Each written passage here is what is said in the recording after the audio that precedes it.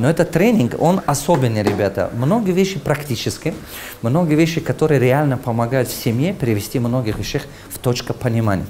Как вы думаете, что самое главное является нашей семьей? И к чему нас тянет вообще? Гармония? Вот гармония, одно, еще? Взаимопонимание, уважение, еще? Взаимопонимание и так далее. А вы знаете, оказывается, самая важная вещь это в жизни человека – это достигать уровень понимания. Понимание – самая важная вещь. Почему? Я сейчас объясню. Вот анализируйте, с какими родственниками вы общаетесь? С теми, которые вас понимают. С какими одноклассниками вы общаетесь? Которые вас в каком-то мере понимают. Согласны? С какими вашими можно сказать, посмотрите, на кого мы женимся? На та, которая хотя бы делает вид, что нас понимает. Согласны? На кого мы замуж выходим? На то, который попытается хотя бы нас понять. Ну ладно, не все понимать. Мужчинам очень тяжело понимать женщину. Мужчина, который понимает женщину, наверное, не родился еще. По крайней мере, он старается. Вот, вот такой. Понимаете? То есть мы всегда стараемся находиться рядом с теми, кто способен понимать нас. А вот этого добиться, оказывается, это главная мудрость, главное наше, можно, достижение. Я хочу с вами сказать, что на взаимоотношения, на взаимоотношения все люди себя считают профессионалами. Все люди думают, что они все знают, все люди думают, что их собственные мысли правильные. Понимаете? Теперь внимание обратите. Одно из моих научных открытий, которое год назад сделал в области взаимоотношений, это какое? Оказывается, период жизни человека всегда есть два и более проблемные взаимоотношения. Два и более. И самое главное, это постоянно. Например, как? Вот у вас есть данный момент в вашей жизни какие-то отношения, которые хотелось бы, чтобы они были по-другому. Например, возможно, это с сынами, возможно, это с детьми, возможно, это с начальником, возможно, это какой-то сотрудник, проблемный сотрудник, возможно, какой-то конфликтный клиент, возможно, какой-то, можно сказать, сосед. Вот, вот никак не могу наладить с ней. Вот, вот, вот, вот так постоянно. Вот иногда ходишь, домой придешь, мысли о ней постоянно вместо того, что думать. На работу идешь, мысли о вот того конфликтного сотрудника не дает тебе покоя и так далее. Возьмите ручку и пишите имена тех людей, с которыми в данный момент есть какие-то чуть-чуть тираны, вот так, притирки. Возможно, это муж, возможно, который не понимает. Возможно, это жена. Возможно, это брат, который иногда пьет, не понимает тебя уже. Возможно, это родители, которые ты хочешь донести, но не получается. Вот пишите имена тех людей, которые в данный момент вы чувствуете, вам хотелось бы, чтобы было бы лучше ваше отношение. Пишите имена этих людей, ребята. Это классно поможет нам.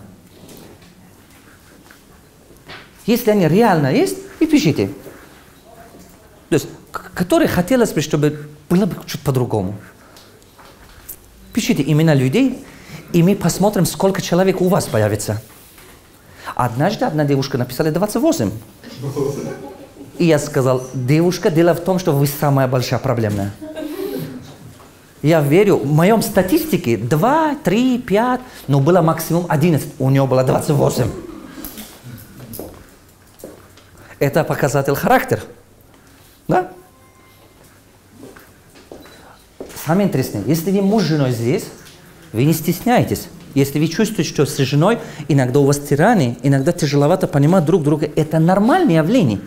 Поэтому э, не обижаясь, пишите имя «Мой любимый муж». Понимаете? Это, не обижаясь, это нормальное явление. Это на, у нас вот, такая жизнь. Ничего не поделишь с этим. Писали? Сколько человек? Пять. Пять? Два. Два? Больше 20. Больше 20? Но вы же всего-то два писали. Пишите, пишите всех, пожалуйста. Один. Если вы пишете, мы поймем. Я вам следующий шаг дам. Следующий шаг раскрывает, вот знаете, бывают вот узлы, которые завязаны, которые непонятны на эмоциональном уровне, и его можно развить. Раскрыть, я имею в виду. Хорошо? Пишите имена этих людей. Сколько человек? Два. Три? Два. Два? Никого? Хорошо, хорошо, подумайте. Вот, вот на вас будем равняться. Четыре. Четыре. Эгембердбаке? Два. Два. Четыре. Внимание обратите. Знаете что? Самое главное, одни уходят, появятся другие. И вот это открытие у меня было, я был в шоке. Оказывается, в жизни человека не бывает абсолютно момент, когда нету ни одного проблемного взаимоотношения. Не бывает. У него вот это, оказывается, стандарт. Это действительно реальный стандарт. Вот с мужем наладишь, начальник начнет. Начальником наладишь, гаишником начинается. И думаешь, как с ним найти общий язык. С этим наладишь, кто-то новый появится. Вот оказывается, просто людей меняется, сами люди, имена меняются, а сама ситуация остается. Кто не понял?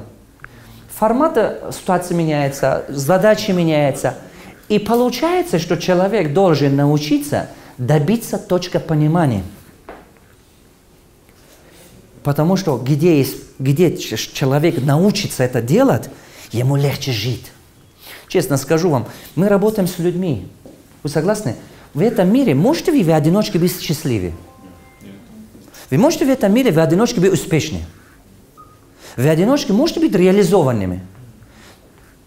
Просто никак невозможно в одиночке чего-то добиться в этом мире. Согласны? В одиночке это просто нереально. Невозможно. Нету никакого уровня шкала роста на какой-то нибудь либо параметре жизни, где бы человек мог бы сказать, что в одиночестве он это могут сделать. Просто не существует. Не существует просто. Получается, что мы, мы э, часть общества, и общество влияет. И общество становится часть нашей мечты. Мы хотим хороших детей, мы хотим хорошую семью, мы хотим, чтобы наш успех кого-то вдохновлял, мы ради кого-то заботимся. Правильно? Вот это все чего-то делим ради кого-то, что-то облегчить, жизнь чьей-то или себя, или кому-то. И это все делается, оказывается, взаимоотношением. Вот так, построено. Поэтому, исходя из этого, получается такая картина. Внимание обратите. Поскольку человек в одиночке сам не мог быть успешным, счастливым и так далее, самая сильнейшая наука – это умение достигать точки понимания. Это самая сильнейшая наука. Например, я пришел к пониманию, что чтобы стать успешным в жизни, внимание обратите, я сейчас буду несколько вещей сказать, колоссальные вещи. Чтобы стать успешным в жизни, чтобы стать успешным в жизни, чему надо научиться? Знаете, чему надо научиться? Надо научиться, как организовать работу. Все. Все, все, все. Если ты умеешь организовать работу, неважно, ты в области политики или в области бизнеса, в области социальной там э, какой-то мероприятия, научись организовать работу, ты успешно станешь однозначно. Не обязательно работу делать самому. Не обязательно самому уметь это делать. Просто научись организовать работу, у тебя больше успеха, чем, чем у обычных людей. Подумайте, а чтобы организовать работу, какой язык тебе должно быть? Язык, который с машином разговариваешь или с людьми? С людьми. О! Вы его ловили? Смотрите, успех зависит, значит, не от того, что у меня 20 дипломов, а от того, что насколько я умею работать с этими людьми. Успех от этого больше зависит. Да, дипломы нужны, образование, но она второстепенная оказывается. По сравнению умения работать с людьми, дипломы оказываются на второй ступени. Вы представляете, профессиональные знания стоят ниже. Например, доказательство это что мы видим с вами? Мы видим с вами, что есть некоторые люди, которые они вообще не сказать, что они гении или умные, но они очень успешные. И мы видим таких людей, которые очень успешные, 10 дипломов, но в жизни вообще не реализованы, бедные живут, Некоторые из них ал- становятся алкашами умрет, потому что не признаны гении. Они сами себе внутри кусают. У них горе от ума. Большинство из них от жизни уйдут, так и нереализованными. Почему? Потому что они не понимают этого. Я сейчас дальше, дальше буду говорить. В семье, счастье. Чтобы счастье добиться в семье. Мы говорили успех, говорили счастье. Чтобы счастье добиться в семье. Счастье в семье. Я думаю, без семьи счастливее. Бывает так, как это без семьи счастливее? Таких видели? Ну, я думаю, это монахи какие-то, наверное. Но это не понимаю. Но, возможно, это другой какой-то уровень, но, но не земном жизни точно. Согласны? Вот так. Вот. А скажите, пожалуйста, в семье разве можно быть счастливым, если ты не понимаешь друг другу? Это просто нереально. Это тоже получается, что если ты умеешь понимание достигать в семье, счастье есть. Не, понимаешь, не достигаешь, ничего не будет. Вот колоссальный механизм. Я еще хочу вам сказать, к чему я уклон делаю. Когда в этот мой друг себя чувствует хорошим отцом, когда он достигает точки понимания своим сыновьям, своим детям, когда его слова без ответа не остаются, когда его надежда не остается обманутыми. Согласны? Когда он смотрит своих детей, это наполняет гордость. Вот это мой ребенок. Когда он чувствует, что эти дети стали его гордостью. Когда где-то он идет, кто-то ему говорит, спасибо тебе за такие дети. Это ничем не окупается. Это такое, такое большое достижение. Согласны? А, поэтому вот такой механизм и здесь. Получается, что везде самое главное – это достигать уровень понимания. А чтобы достигать уровень понимания, уровень понимания, как вы думаете, что требует? Требует высокой мудрость. Мудрость. Ум не требуется. Ум обучает вас хитрости, запомните. Чем умнее становится человек без мудрости, он станет хитрый. Чем человек станет умнее, без мудрости, без духовности, он станет мошенником. Он станет вором, хитрым. Да-да-да. Посмотрите всех людей. Вы думаете, что они глупые, эти воры? Они знаете, какие умные?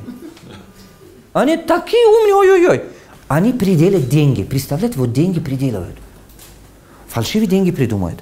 Они банковские счета сломают и деньги гоняют. А что, вы думаете, что глупый способен к этому? Я компьютер даже свое имя писать еле научился. Вы понимаете? Они очень умные люди, но они это ум направляют на вреда, потому что у них не хватает мудрости. А мудрость его фундамент – духовный интеллект. Она с этого начинается. С формирования духовного интеллекта начинается именно мудрость. А формирование духовного интеллекта начинается, появляется, э, можно сказать, хотя бы желание, понимание кого-то. Главный секрет того, что уровень понимания достигает, это что? Самому научись понимать других. Ты сам научись понимать других. Если ты поймешь, как это, поймешь боль этого сотрудника, поймешь его проблему, а вы знаете, ты самый близкий человек для него. Он для тебя готов все делать. Если ты поймешь душа своего друга, он куда пойдет постоянно сообщаться? К тебе придет, потому что кто-то должен его понять. Уловили? Мужчине, вспомните свои молодые годы. Каким девушкам вы ходили? Теперь не делайте вид, что все ангелы. Никогда не знаем, как это было. А кому? Девушка со стороны сначала выглядит красиво, общается с мужчиной, послушайте внимательно, общается, но если при один-два встречи чувствует мужчина, что нету понимания, он с ней, возможно, будет дружить, но жениться предлагать никогда не будет. Согласны? Общаться будет, гулять будет, на кофе пригласит, и секуль пригласит, а вот жениться не будет. Почему? Потому что он чувствует, что эту девушку он не могут доверять. Он не могут ее уважать.